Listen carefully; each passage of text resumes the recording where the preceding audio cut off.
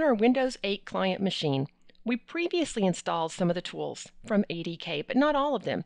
We installed the deployment tools, the WinPE, USMT, and Volume Activation Management tool.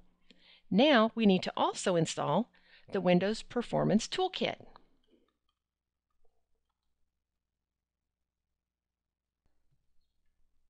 When that completes, you're sitting at a blank page that says Welcome to the Assessment and Deployment Kit.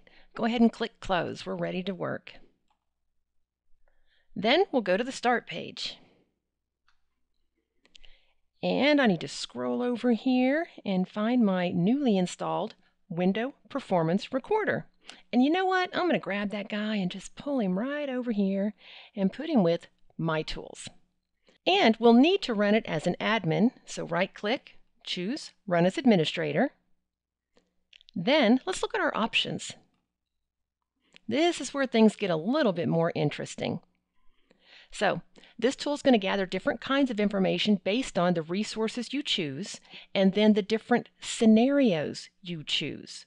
So just so you can get a little bit used to this, we can check out the CPU usage, disk I.O. activity, file I.O. activity, registry, networking, heap usage, pool usage, if you need to learn information about what's going on with RAM, V allocation, power usage, and GPU for your graphical processing unit.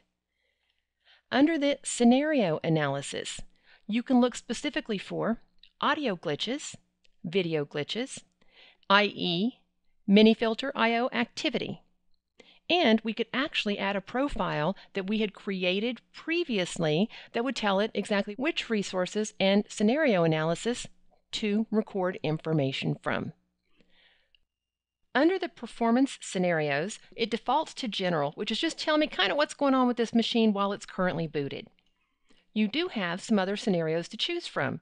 You could choose tell me what happens during boot, a fast startup, shutdown, a reboot cycle, going into standby and then resuming, as well as going into hibernate and resuming. We're going to choose boot.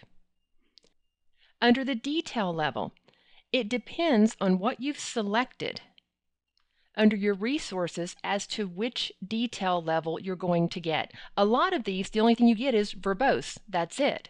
So if you do get the option to do light, that normally has to do with one of the resources like networking activity. And when you do light, you get things like error messages, connections, disconnections, some of the major things that have happened, not every single packet that has been transmitted, which is what you would get on verbose. Verbose is give me everything you got. I'm going to leave it set to verbose for now. The logging mode, again, this is dependent upon what resources you've chosen, you've got choices of file or memory. If it's memory, that's a circular memory file and things can easily be overwritten. If you need to have a sequential log file, then you want to go with file. And we'll just leave it with file since that's the only option we have. Under a number of iterations, it's going to perform this three times. Then you'll have a chance to go in and look at each one individually and see if something might have happened differently on the network that could be causing issues. The only thing we need to do to kick this off is tell it to start. And it shows us where it's going to store our new log files. It's going to put it in our administrator's documents. Within that, the WPR files, it will name it the machine name, date, time, and if we cruise on over to the end, we see that the extension is an ETL. So it's a special type of log file. You could browse and put it anywhere you want, but I'm good with that. In a description, I'm just going to type in that I want to see boot issues to slow down my machine. Click Save. And it comes up and lets you know, well, if you want me to check and see what's going on during the boot process, I have to reboot the machine. So let's tell it, okay, go ahead, reboot this guy. We'll allow it to sign us off and start keeping track of what's occurring during the boot process.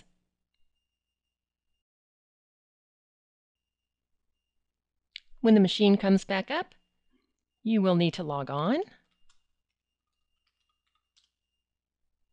And go to your desktop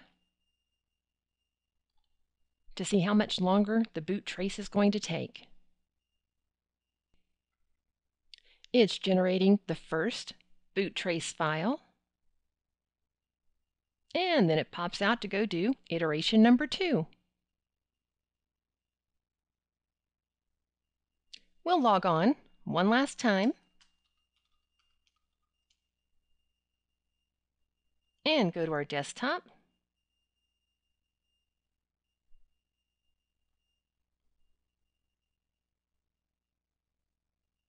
When that finishes for the third time and you get that the boot trace information was successfully saved, click OK.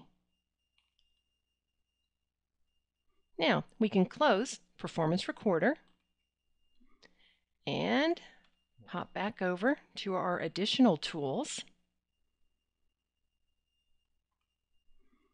We'll open the Performance Analyzer. We'll maximize that screen and then choose File, Open, and we'll open the WPR Files folder. Select our first ETL file. Takes a couple seconds for this to load. And notice how it's building our little graphs for us over on the left-hand side under the Graph Explorer. So we're looking here at system activity. If I expand system activity, we can take a look at in-depth information on stacks, Windows logon timeline, boot phases, threads, processes, services. And if you want to grab one and pull it on over into the analysis, you just click and drag him over there. And it makes it a little bit bigger so you can actually read it and see what each one of the issues or how long each process took during the boot process. So you can cut this down, go in and look at the user initialization, Explorer, all kinds of fantastic information, and you can grab additional graphs under computation. We have information about, scroll up on that, the CPU usage, sampled and precise, which they look pretty neck and neck to me. Under storage, we have ready boot events, Ready Boot Cache. Under Disk Usage, we have Service Time by Process. We can click and drag that over if we'd like. I.O. time, counts by process, activity, utilization. As you can see, you can get incredibly detailed information out of these traces. And one thing that you might want to use these for is if you have to send something to Microsoft, they can give you either a profile to use that's already built and will get all the system resources they need to troubleshoot an issue, or you can also do it yourself. But it's a great utility and it is what used to be called XPerf is now Windows Performance Recorder.